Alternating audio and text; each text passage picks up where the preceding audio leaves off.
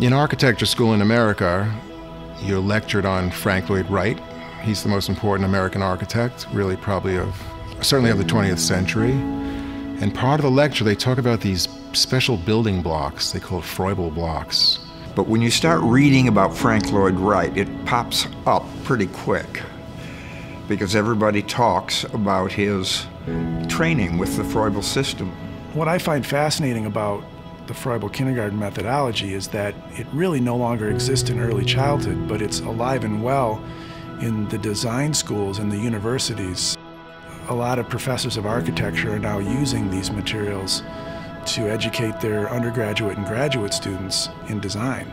Our students are making these gift sets. They're they're entering nature in a very direct and visceral way. They're choosing a raw chunk of maple or walnut or larch, and they're working directly with the material. They're developing a respect for wood, for joinery.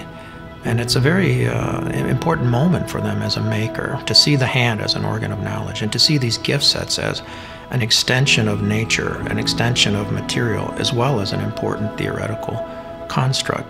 Uh, I use them for many reasons, actually. I use them as a way to teach uh, shape grammars and um, a computational process of design.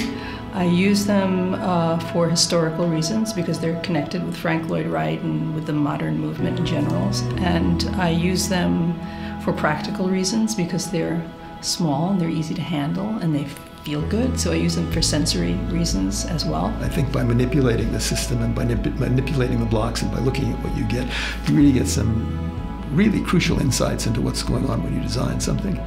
To me, it feels like it's the perfect approach for today's society because we need young people to grow up to become creative thinkers. And I think the classic kindergarten approach puts young people on a path to be developing as creative thinkers. They're also deploying their skills as artists. Through black and white photography and an engagement with nature, they're using the sets to decode these events that they've discovered in nature. And in the work that we're doing currently, a small tea pavilion here for the Westcott uh, site plan for the new educational campus, uh, these the tea house joiner was derived from these Froebel exercises where they were asked to interpret nature, understand issues of order, issues of connection because many of them are so used to modeling stuff on the computer, they're not used to actually dealing with real, real forms. So they quickly discover that they really don't know as much about spatial form as they thought they did. And um, we're talking about architects. Um, and so they're surprised and somewhat embarrassed sometimes that they don't recognize the same form from different angles, let's say. I think their work with the Froebel sets is tactile, it's visceral, it's through the skin. It engages their intellect and their mind's eye, but it also, in the construction of the sets, the respect for the material, engages their hands and their bodies. if we want someone to become creative, the best way to do that is give them opportunities to create.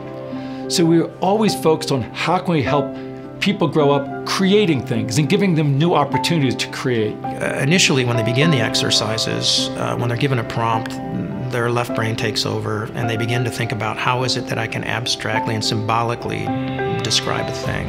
However, however, you know, over 20 or 30 minutes, that begins to change. And the students begin to see things for what they are. The Froebel sets help them to recognize by looking, and they're looking in a new way.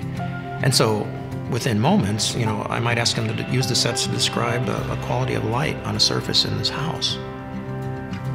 And all of a sudden they look at an encaustic wall, they look at the grain of quarter sawn oak, and they begin to look at those relationships, and then the sets take on a new meaning. And it unlocks doors that have been previously closed, and it's one wonderful way for them to transverse hemispheres. Real conceptual learning means you are connected that you connect this piece of knowledge to this piece of knowledge to this piece of knowledge. And, and when you do, when you make those connections, kids are engaged. It's just a fascinating story.